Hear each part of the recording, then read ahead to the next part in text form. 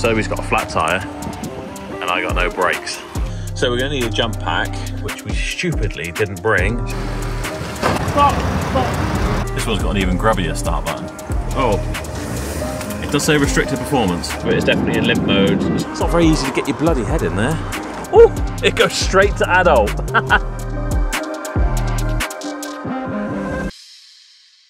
Okay, before we get into the video, I just want to do a massive shout out to today's video sponsor, which is Vehicle Score. And I'm going to do a quick check on one of the Range Rovers that we're buying. So, the registration for this one is Yankee Lima 64 Lima Yankee X-Ray. This is going to give us a score from 1 to 999 based on its MOT, mileage, age, and history.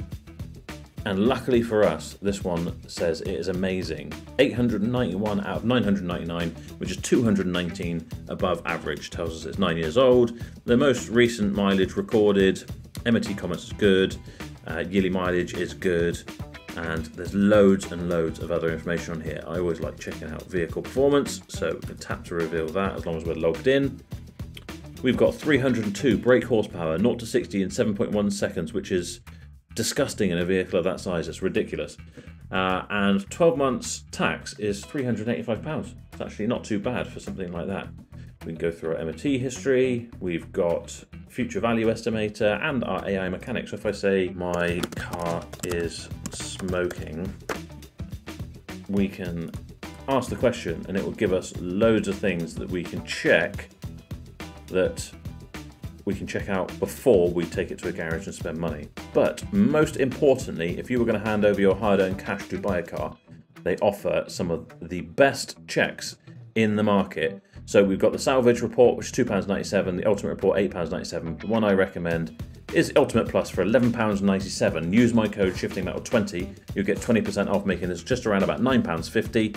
It gives you all of these checks, gives you ultimate peace of mind. You've even got £10,000 worth of data guarantee to make sure that you're not buying a complete lemon without knowing about it and that you've got something to give you all the information you need when it comes to buying this car. So head to vehiclescore.co.uk for those and make sure your money's safe when you're spending it on a used car. Hello everyone, welcome back to the channel, hope you're doing well. Today you join me in the back of a very bouncy and very to be quite honest, cramped Navara. We are on our way to collect some cars that I recently bought. I actually bought three Range Rover Sports in the same sitting, unseen, at BCA auction, and they are all in Birmingham, just to add insult to injury. So we got me, Toby, and Macaulay all in the Navara. Uh, Macaulay's got the trailer on the back of the truck. He's going to drop Toby and I at BCA Perry Barr to pick up two of them then he's going to go on and pick up another one from BCA Walsall. Let me show you what we bought. I've got a nice little red one. I actually quite fancy this for myself. It's only £10,800 on 79,000 miles. Uh, that was about 1100 quid under cap clean. It looks to be quite a nice thing, really. Then the next most expensive one we got was £13,700. It's like a dark blue, purpley type of colour. That's on 51,000 miles and I paid over cap clean for that one by about £500, but there's still a load of profit in that. And the nicest looking one of them all is this 65 plate, uh, 3 litre, but it's a hybrid, I believe, diesel hybrid system. Uh, that one's on 64,500 miles. Cap clean was 18,950, so we've got that about thousand pounds under cap price. We are going to go and pick them up and get them back, and just pray that they are all okay. So we're on the road, we're going to pick them up, we'll show you them as we grab them, and then we'll perhaps make a comparison of all of them. Let's go.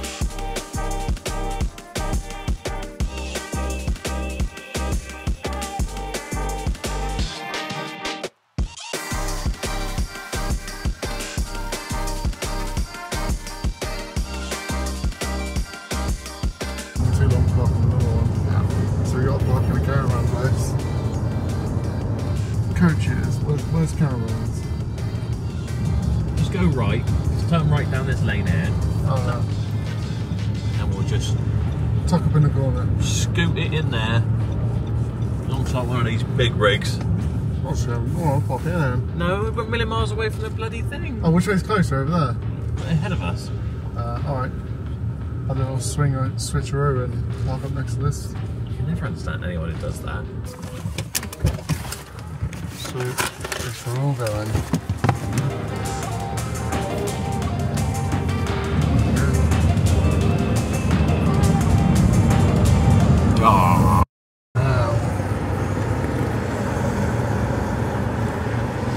Had longer piss.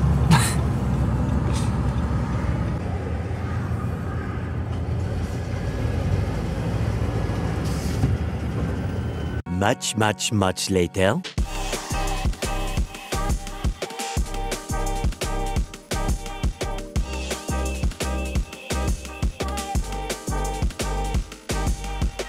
This car park is I'm hoping there's room me spin around. Right, so apparently we're lane one. Oh yeah, collection point one. So we're on this row up here somewhere. I can't see anything that looks like a Range Rover Sport, and it's raining, but I guess we'll find out. Right, Toby's in the blue one. Got a bit of a flat tyre. I'll figure that out. But it did start okay. And I'm going to be driving the 65 plate one. Look how nice that looks. Now, what's not so nice about this don't drive, no brakes.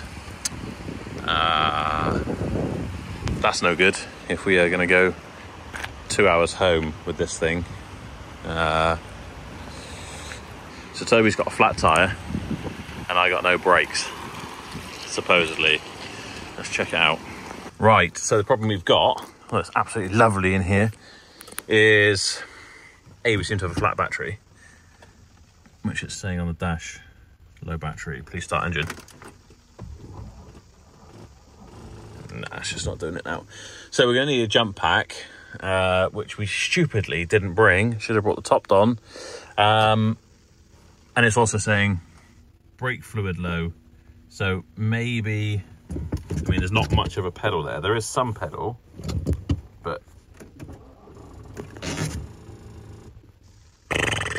not enough um, so it could have a, a blown uh, hose or something. Uh, so we have to get Macaulay to come back and grab us. And luckily we've got a tyre pump, so we can pump that up. And then we'll have to drive the other one back, hopefully. But luckily, we've got these battery packs, which hopefully will sort us out.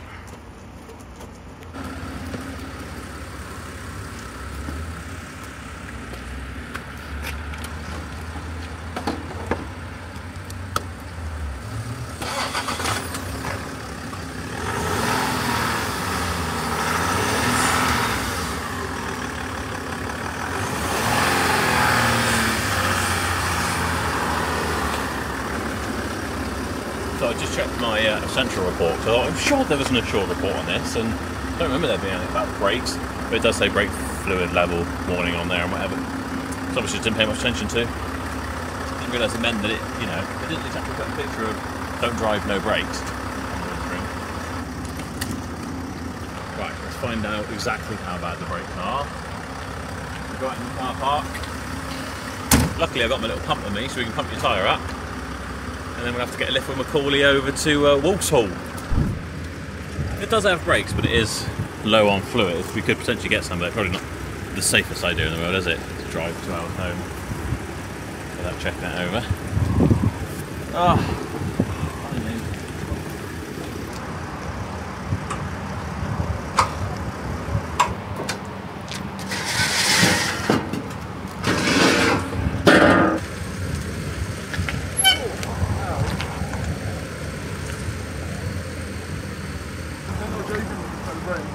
Oh, it's just some.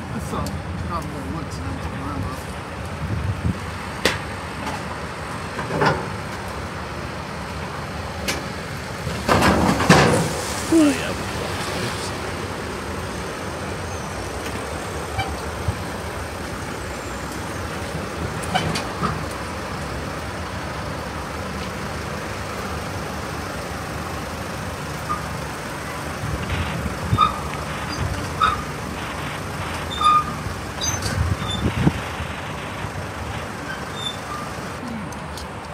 The other thing I think you could do is, is it still running?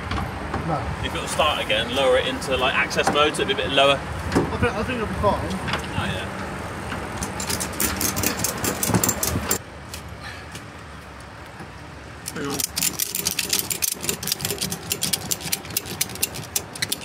You're probably not very happy with that strap, are you? Just realise it's.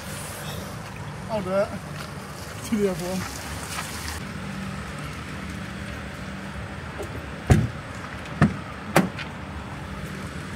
Do you have the other key then also? Here with you. Put them both in the packet. Oh, amazing. Perfect. Well done. Right. Best of luck. Right, so got one. I'm going to try and get some more air for the petrol station here. Do we need fuel? No, we've got half a tank. After 100 yards, turn left. Not sure how we're going to turn that off because doesn't does it even know where we're going? Because unfortunately everything is in Greek. I think that's Greek. Toby thought it was Arabic, but I'm fairly certain that's Greek. Is there even an air pump at this? Oh, air and water here.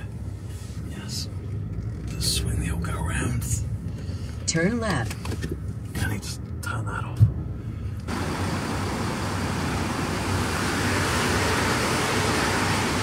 Pound for air these days. Drop it.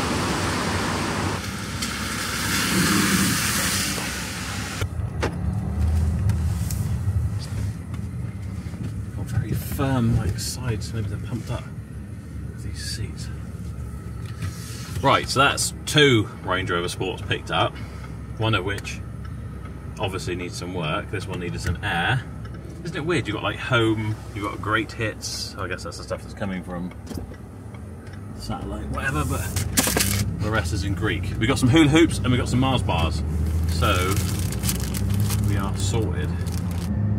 Shout out to carsalehouse.co.uk down here in Birmingham.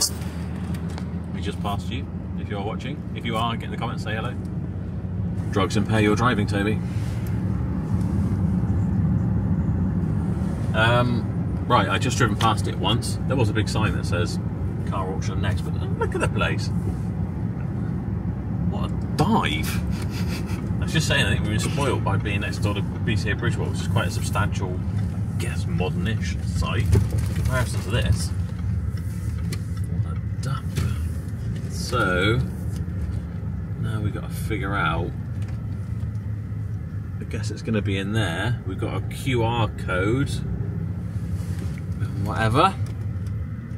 Pick up another Ranger. We've got to hope that this one doesn't have an absolute ton of faults. Is that actually a disabled bay?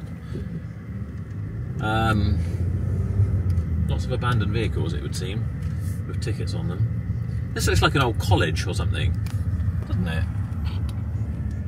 Do you know what I mean? Yeah, we got to hope this one isn't foobarred because we've got to drive it home. If otherwise, we've driven all the way from Perry Barr to Walsall for no reason whatsoever because we'll have to leave it here for Macaulay to pick up on another day. Seen that very often. Loading them with some proper sketchy ramps into the back of a curtain side lorry.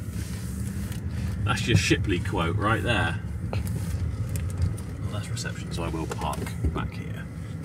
That's a very gunky stop start button. It's gross.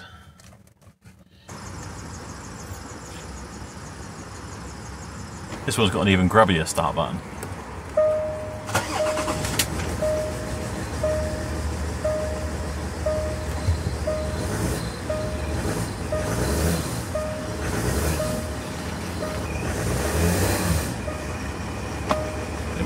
Maybe got a bit of a squeaky belt. Oh, it does say restricted performance, but also fuel level low. Let's get it out and we will do a little diagnostic scan on it and see uh, what's coming up. Need to figure out how we unlock the uh, air cylinder. Oh yeah. Thank you. Thank you very much. That's it. Brilliant. Okay. If it looks like it, Genius. Carrying this with me everywhere now, the OBDeleven diagnostics tool. Because on some vehicles you can code certain things in, but more importantly, for a situation like this, you just want to figure out what's going on with this, whether it's sensible or not to actually drive this on. We've got a basic OBD diagnostic tool that connects to your phone that will let us know our fault codes and clear them. It's definitely a lot more grubby in this one, isn't it? So detecting the vehicle, now it's reading the control units. Hopefully we can find out why this car's not very happy. So according to OBDeleven, we don't actually have any codes in here, which would make sense because we don't have any engine management lights on. We've just got that restricted performance warning on the dashboard, which may well have gone now. Could that be to do with the fact that it's low on fuel? I think we're going to chance it. I'll drive this one. I'll keep my OBD connected just in case I need to use it. See how we get on. Right, it's telling me Two hours, 13 minutes to get back, which is quarter past five, which is quarter of an hour after everyone else will have gone home. That's assuming this thing makes it. So of three Range Rover Sports bought, two, sorry, one seems decent, two need some work. Not a shocker, I suppose.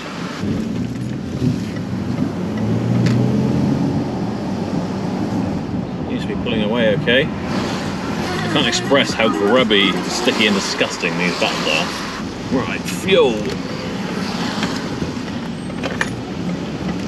Going in Sainsbury's for fuel.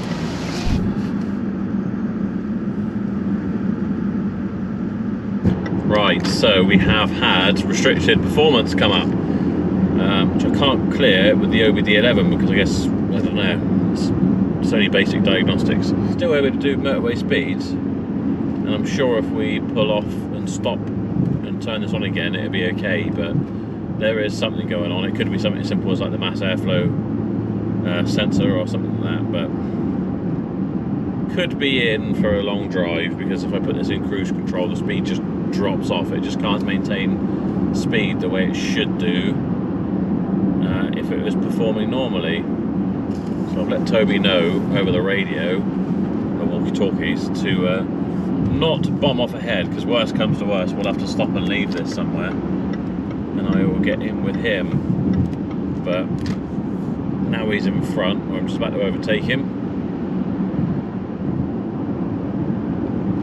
But uh, yeah he's slowed down probably a bit too much. If I lose my momentum it's harder to get going again. Um, it still does reasonable speeds but it's definitely in limp mode so uh, think next time we spot services, I'll grab some food and I reckon turning it off will probably put it back to normal again for a bit. doing 70 at the moment, so it's not awful. And we've got services at one mile. Frankley, Frankley services on the M5. Oh, this services looks rubbish. Oh, they've got a Burger King. All right, I'll take it back. Right, let's turn it off. Back on again and see if we clear.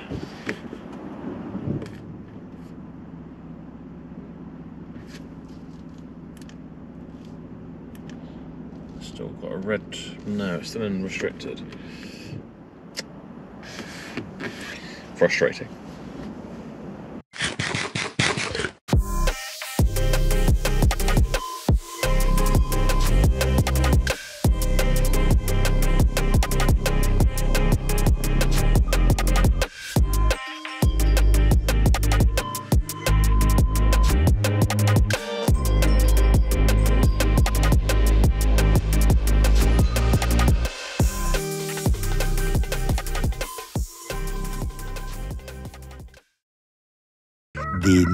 Day.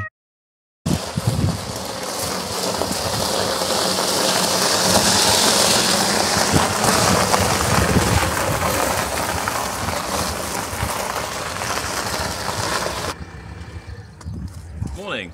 How was the rest of your drive? Yeah, that's all right. Right, so all three Range Rovers are back. It's the next day. Um, all have got some things they need looking at. So let's have a little look round, see what we got, and try and do a few little things. See, see what we're working with. So this is the 65 plate, the one with no brakes, don't drive. Which on the whole, is definitely the nicest one. It looks very nice. It's the most modern as well, and it is the hybridy one. Oh, the steps come out, look.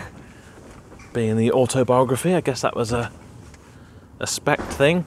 They're really nice in here, pan roof, got the nice Alcantara headlining, stuff like that. 64, just under 65,000 miles.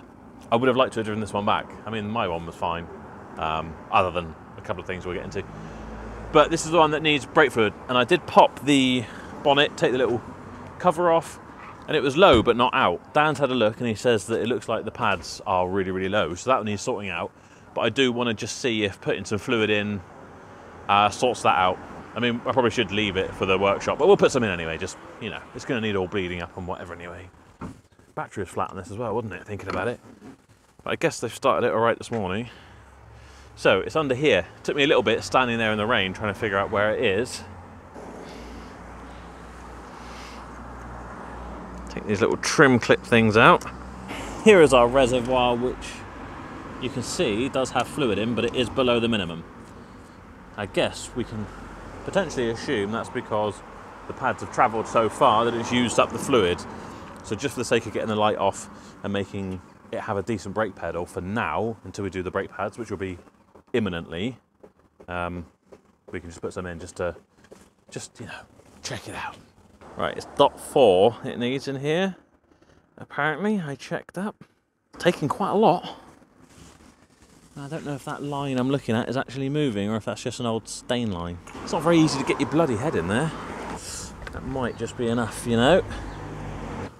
Right, let's fire it up see what it's saying about brake fluid. Hopefully, nothing. This is also the cleanest of the three. Right, tyre pressure monitoring set for light load. Ignition on. No other warnings. So, brake pedal still feels a bit janky, to be honest. But might be getting better. Obviously, it's going to need bleeding through. And oh no, it does still say brake fluid low actually. Now that I've pumped it, I guess. I probably pumped them in, so I'm not going to do any more because we might start pumping air in or whatever. But yeah, mechanically, I think it just wants brake sorting out. I think it would be okay. I don't think there's actually like a leak or anything. Originally, I thought there was, but I think it just needs the brakes changing.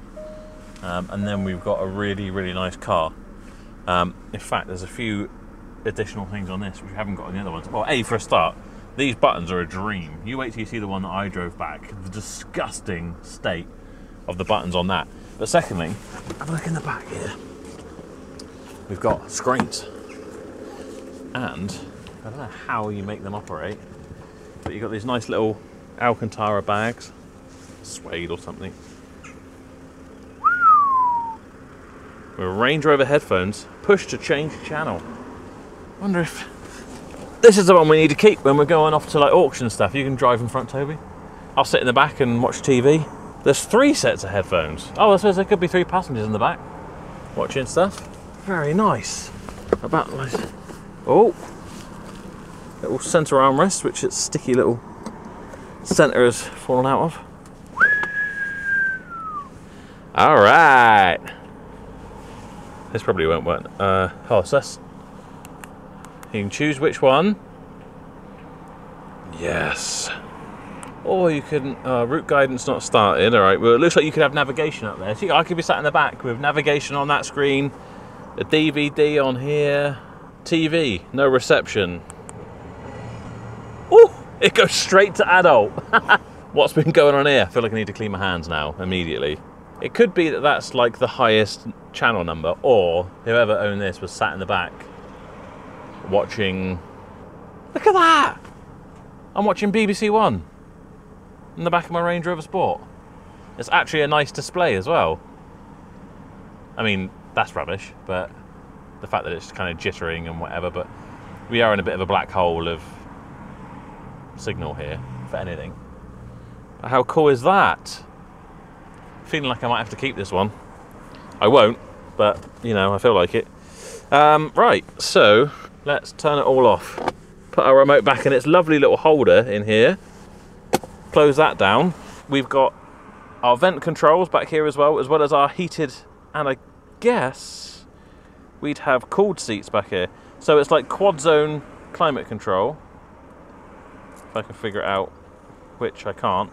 Looks like we can have heated, maybe not cooled, heated rear seats, not cool, but still pumping away with your Meridian sounds, whatever. So, so far, this is definitely my favourite one. No tow bar on this one, I don't think, which would be handy. some nice genuine Range Rover mats, which look in pretty good condition to be fair. Very nice and plush. Even the driver's one. Well, that could be a passenger one actually. I can never tell. Yeah, I think I think the driver one has this tiny little baby one. But still, they're well worth putting back in, I think. And we have got the uh, load liner parcel shelf thing, which I'm not sure all of them have got. Right, so next up, we've got a key for the blue one, which actually you can see in the sun here is going to be a very nice metallic blue, but obviously none of them have been validated or anything like that. That's why they've all still got their auction markings on. This is the one that I drove back. We'll look at that last. This Toby drove back. This one, other than having a flat tyre originally, let's have a quick look, see what it's like now. It stayed up. Might want new tyres, I don't know, I haven't really looked into it, but drove pretty faultlessly, didn't it? Toby's giving me a nod. So this one was pretty good. What was interesting about this one? Oh, it's got um, some very questionable like aftermarket bits, hasn't it, on it? Carbon fibre surrounds for your seat base. So this fits on there, like that. Because of course that's the look you want in your Range Rover Sport. Strange choice. So this one was on 51,000 miles. It's pretty clean, actually. Um, inside and out really. It's not going to take a huge amount of work to get that sorted. No TVs in this one sadly. This one is not an autobiography, the orange one is. So two of them are autobiographies, this one isn't. So none of that fancy stuff in the back. I wonder what the centre armrest is like. Rubbish. Absolutely rubbish in comparison to the other one. I mean, it would do its job, but... Um, so, yeah, this one's pretty good, to be fair. Jason's already started coming out here and doing his, like, admin work, getting prices in the windows, getting all the documents together and all that sort of stuff. So that's that one. We got Mike the Dent Man here from NW Dents. He's got the key for this one, so I'm gonna have to go and grab that off of him. Now this one is the one I think could potentially be the most problematic. It was also the one that I thought, oh, it's so cheap. What did I pay for it? Like 11 maybe ish thousand. Um, that it would really suit me down. They do have a really nice metallic paint on them. Um, I kind of do fancy one of these for myself because I feel like it would just be a great all-rounder car for me. I've got three dogs now for my sins, um, and Sophie and everything else, and it's like a good kind of like utility vehicle, isn't it? But like we said, we've got a couple of problems. So we've only got one key. We've got no service history with this one. Um, I feel like the carbon fiber surrounds off the other one should come in here because this one's got like a Mm, well, it's not a carbon fiber, it's like a polished kind of metal look. I mean, they are, it's like plasticky and whatever, but it would fit in here better, I think. Um, this one, when we first started it up, it came up with something saying restricted performance. Uh, it cleared itself again, and then when I put my foot down heavy, going along at one point in the motorway, came up with restricted performance again, put it into a bit of a limp mode. But once we stopped for food, turned it off again, started again, it was all right. Then bringing it in this morning, it came up with like body stability problems, whatever. So, you know, I don't think any of these things are drastic. It's probably something like an air mass airflow meter or something, or, or I don't know. We're gonna have to plug it in and find out. It could be um, solenoids on the turbo. I think on these that kind of throw up that random restricted performance type issue. Um, and the suspension thing probably wants some like hydraulic fluid. That tends to be um, what they need from my experience of the older generation of Range Rover Sport that I had. But this one was marked as a grade four, so like the worst condition of the lot, but actually, I don't think it's too bad. I think this would clean up really nice.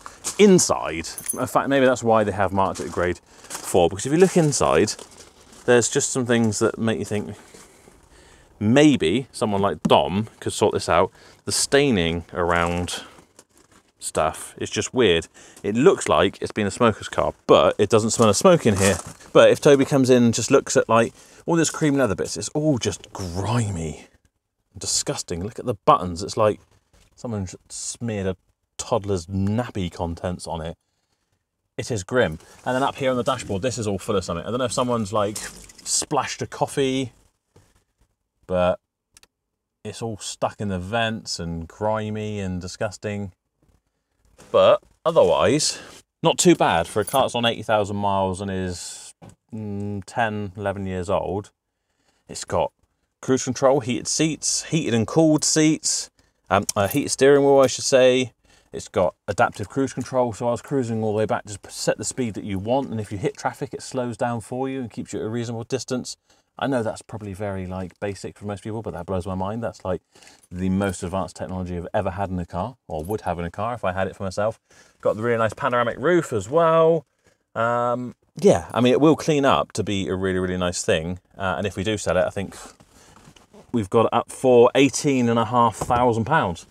So there would be a decent profit in it as well. Let's uh, see if we've got any warnings on it when we turn it on now.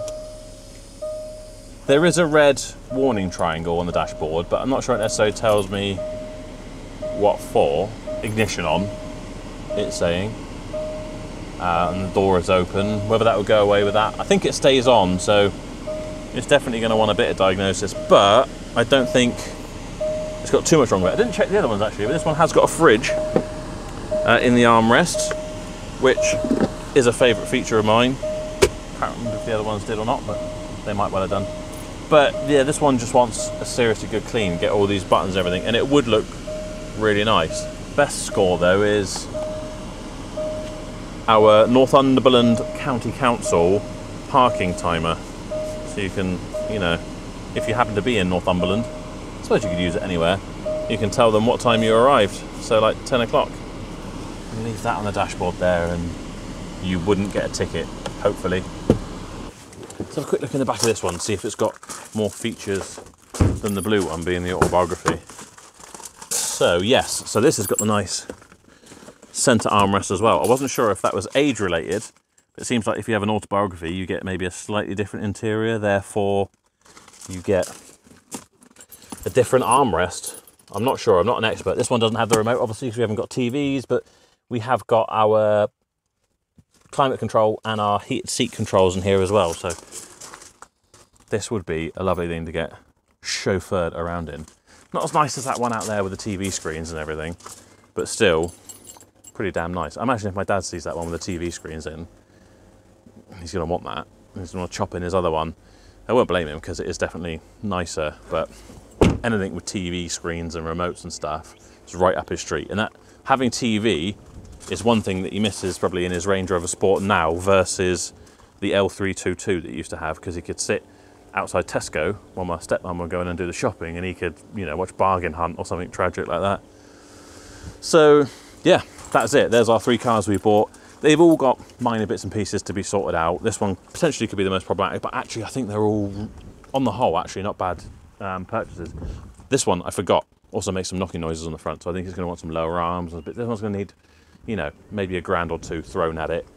But still, there'll be a decent profit margin in it, and it will sell really, really quickly if I don't decide to keep it. Let me know in the comments what you think, whether I should keep this for myself, look for another one. I don't think it's too bad. It's quite a nice car, really. Only 8,000 miles, so we can sort out a few little issues. Could be a winner. Right, so that is it for this video. Thank you so much for watching. I hope you've enjoyed it. If you have, make sure you give it a thumbs up. If you're new here, make sure you subscribe. If you're one of my subscribers when we hit 75,000, I'm giving away a free Tag Heuer watch worth £2,000. And if you want to get your hands on a Tag Heuer watch without having to subscribe or wait until we hit 75,000 subscribers, check out my raffle website, feelgoodcompetitions.com, where we are raffling off cars, watches, uh, holiday vouchers, and cash, all in aid of helping raise money for really good charitable causes. That's it for this one. Thanks so much for watching. We'll see you next time.